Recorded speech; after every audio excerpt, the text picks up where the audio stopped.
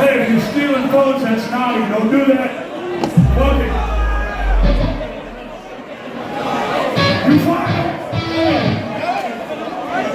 This is called Taipei.